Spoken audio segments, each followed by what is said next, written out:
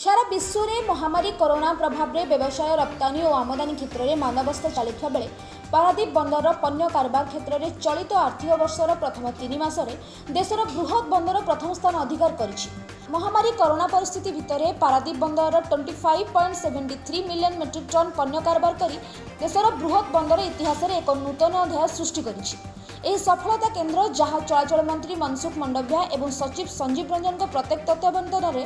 ଓ ମାର୍ଗଦର୍ଶନ ଯୋଗୁଁ ସମ୍ଭବପର ହୋଇପାରିଛି ବୋଲି ବନ୍ଦର ଅଧ୍ୟକ୍ଷ ରିଙ୍କେଶ ରାୟ ପ୍ରକାଶ କରିବା ସହ ସେମାନଙ୍କୁ କୃତଜ୍ଞତା ଜ୍ଞାପନ କରିଛନ୍ତି ପାରାଦୀପ ପୋର୍ଟ ଏବେ ଇଣ୍ଡିଆର ନମ୍ବର ୱାନ୍ ମେଜର ପୋର୍ଟ ଏଇ ଫାର୍ଷ୍ଟ କ୍ୱାର୍ଟର ଏଇ ବର୍ଷର ହେଇକି ବାହାରିଛି ଆମେ twenty five point seven million ton cargo ଏଇ କ୍ୱାର୍ଟରରେ କଲୁ ଆଉ କୋଭିଡ଼ର ଯେଉଁ ପ୍ରୋବ୍ଲେମ୍ ତା ବାବଜୁଦ ଏଇ ରେକର୍ଡ଼ କରିବା ବଡ଼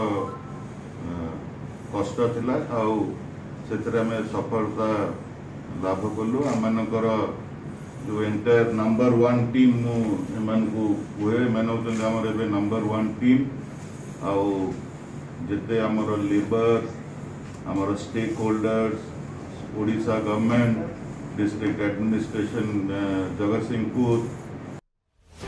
ସେହିପରି ଏହି ଅସଫଳତା ପ୍ରତ୍ୟକ୍ଷ ଭାବେ ଜଡ଼ିତ ଥିବା ପ୍ରତ୍ୟେକ ବନ୍ଦର କର୍ମଚାରୀ ଶ୍ରମିକ ଆମଦାନୀ ରପ୍ତାନୀକାରୀ ସଂସ୍ଥା ଜାହାଜ ଏଜେଣ୍ଟ ଓ ଷ୍ଟିବେଡୋର୍ସ ନାମାନଙ୍କ ସହଯୋଗ ପାଇଁ କୃତଜ୍ଞତା ଓ ଅଭିନନ୍ଦନ ଜଣାଇବା ସହିତ ଆଗାମୀ ଦିନରେ ନବେ ମିଲିୟନ ମେଟ୍ରିକ୍ ଟନ୍ ପଣ୍ୟ କାରବାର କରିବା ପାଇଁ ପାରାଦୀପ ବନ୍ଦର ଲକ୍ଷ୍ୟ ରଖିଛି ବୋଲି ବନ୍ଦର ଅଧ୍ୟକ୍ଷ କହିଛନ୍ତି